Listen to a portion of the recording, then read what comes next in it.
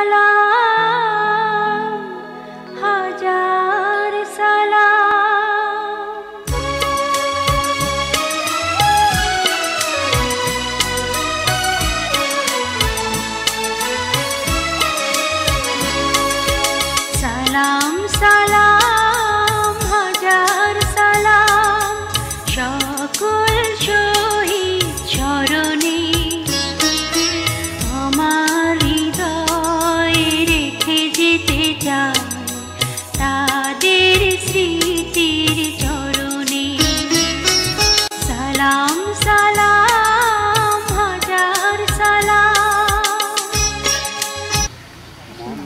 ইসলাম আমি তো নজির আহমদ সারেং। আমার ঠিকানা ওসমান, পাঁচ নং পাঁচ নং ওসমানপুর ইউনিয়ন মিরেশ্বরায় চট্টগ্রাম।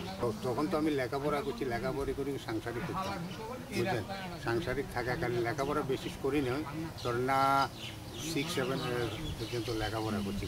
আমি উনিশশো একাত্তরে যখন যুদ্ধ লাগিয়ে গেল, তখন আমি, আমাদের এখানে আরও বহু লোক আছিল সবাই একসাথে মিলে আমরা ভারতে চলে গেছি। শ্রীনগর দি শ্রীনগর দি ভারতে যাইয়া ওইখান থেকে হরিণা হরিণা গেছি। হরিণাতন আমরা বিভিন্ন জায়গায় ট্রেনিং সেন্টারে গেছি। আমি বগাফাট ট্রেনিং করছি।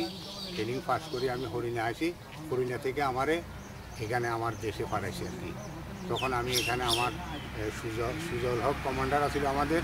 ওর সাথে আমরা নব্বই হাসানব্বই জন একসাথে আই ঢুকছি বাংলাদেশে। আর ওখানে বাঁশখালী এক দিলীপ মাস্টারকে বাড়িতে এখানে আমরা ক্যাম্প বানাইছি। এখান থেকে ক্যাম্প বানায় আমরা বিভিন্ন জায়গায় ডিউটি করছি। আমরা যখন আসি তখন পাঞ্জাবিরা আর আমাদের ভয়ে এদিকে আর ঢুকতে পারে নাই। হচ্ছে আমাদের বাংকার আছিল এখানে এখানেও বাংকার আছিল ওইখানে কয়েকটা বাংকার আছে। আমরা বাংকারে বাংকারে ডিউটি করছি। আচ্ছা এছাড়া আর কোনো অপারেশন আছে অপারেশন তো এখানে আমি অপারেশন করছি এখানে তো আপনাদের সিলেট যাই করছিলাম আর কি এখানে তো সিলেট যাই করছিলাম আর কি। সেখানে যে আমরা কিছুদিন আসছিলাম এখান তো আবার হরিণা আসি হরিণা তুন এখানে যেতে পারছি।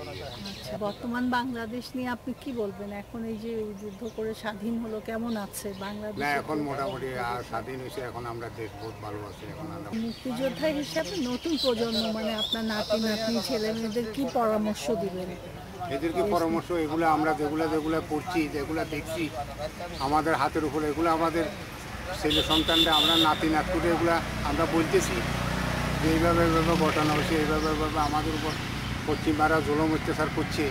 আমাদের বাড়িতে আমার বাড়ি থেকে আমার আমি আমার স্বাস্থ্য ভাই দুইটা সহ আপনারা পাঞ্জ- পাঞ্জাবিরা ধরছিল তো। ধরি আমরা মারতে চাইছিল। আল্লাহর হুকুম আমি এর আগে পাকিস্তান ছিলাম। বুঝলেন? আমি কিছু উর্দু জানতাম। তখন আমি উর্দুর মাধ্যমে ওদের থেকে আমি বাঁচছি। হ্যাঁ? ওরা আমার সারি দিছে কিন্তু আমার উর্দু বলাতে। না হলে আমার ও তখনও মারিয়ে গেছে এরপরে আমি ইন্ডিয়া চলে গেছি। Yeah.